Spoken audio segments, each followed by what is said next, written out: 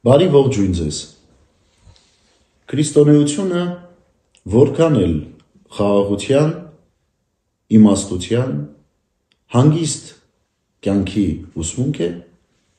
նույնքան էլ պատերազմի, ճակատամարտի, մարտական վիճակի, զինվորության ուսմունք է։ Որոշ մարդիկ քրիստոնյայի քրիստոնյայի կերպարի մեջ են մտնում կամ փորձում են քրիստոնեությունը ընկալել կամ ընդունել եւ ասել, որ ահա այլևս մենք պիտի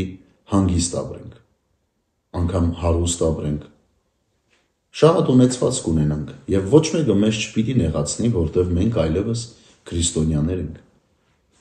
Բայց սա չէ իրականությունը։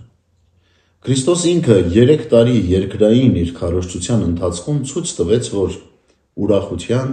հրաշքի, բժշկությունների կողքին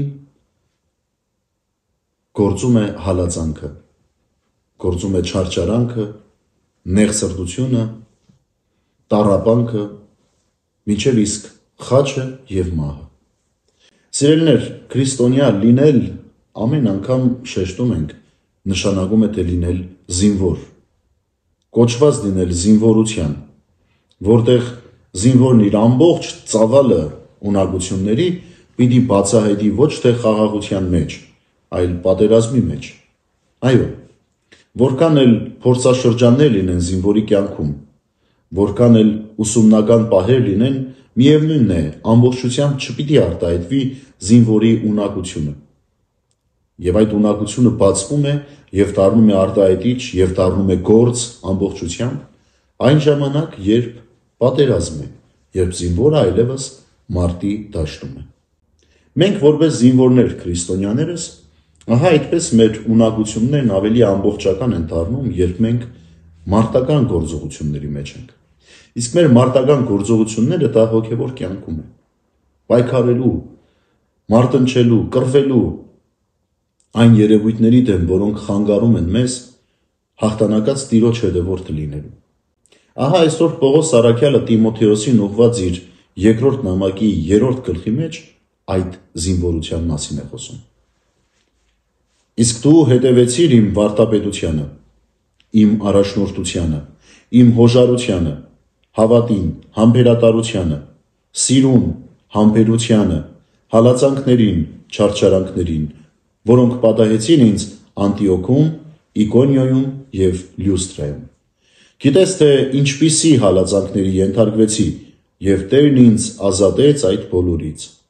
Եվ բոլոր նրանք, ովքեր ուզում են աստվածապաշտությամբ ապրել Քրիստոս Հիսուսով, կլինեն հալածանքների մեջ։ Ահա սիրելներ վկայությունը Պողոս Արաքյալի. Կա եւ առաջնորդություն, եւ համբերատարություն, եւ համբերություն, եւ սեր, եւ հավատք, եւ չարչարանք, եւ հալածանք, եւ եւ եւ ամեն ինչ, որովհետեւ ով ուզում է Տեր Հիսուս Քրիստոսի հետևորդ լինել, պիտի հալածանքների միջով անցնի։ Շատ բան չի փոխվել աշխարհում։ Այսօր էլ աշխարհում քրիստոնյաները հալածվում են։ Եվ այն մարդիկ, ովքեր չեն ուզում հալածվել, ուղղակի իրենց մաշկի մասին են մտածում, իրենց մորթի մասին են մտածում, ասում են ավելի լավ է այդ քրիստոնեությունից հրաժարվենք։ Ընդունենք կամ այն քրիստոնեությունը, որտեղ այդ հալածանքը չկա, որտեղ կերուխում է, որտեղ խաղ ու պար է, որտեղ որովհետև թեթև է այնտեղ ամեն ինչ կամ ընդունել այն ուսմունքը, որը թվում է, թե այս աշխարհում հաղթանակում են, եւ կամ առասարակ հրաժարվել Աստծուց եւ հավատից։ Դառնալ աշխարհի քաղաքացի եւ վայելել ճագերտներով այն աշխարհը, որ այսօր հрамծվում է սկուտերի վրա յուրաքանչյուր մարդու։ Իսկ այն բոլոր քրիստոնյաները, ովքեր հավատում են Տեր Հիսուս Քրիստոսին եւ հետեւում են Տիրոջ պատկամին եւ գիտեն, որ այդ է փրկության ճանապարհը,